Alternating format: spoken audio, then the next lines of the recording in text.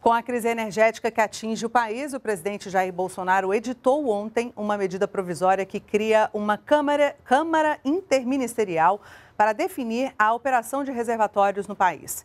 Em pronunciamento em cadeia de rádio e televisão, o ministro de Minas e Energia, Bento Albuquerque, também falou sobre um programa voluntário para as empresas regularem o consumo de energia e lembrou que o uso racional é uma responsabilidade de todos.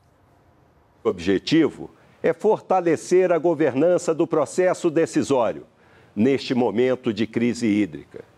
Em parceria com a indústria, estamos finalizando o desenho de um programa voluntário que incentiva as empresas a deslocarem o consumo dos horários de maior demanda de energia para os horários de menor demanda, sem afetar a sua produção e o crescimento econômico do país.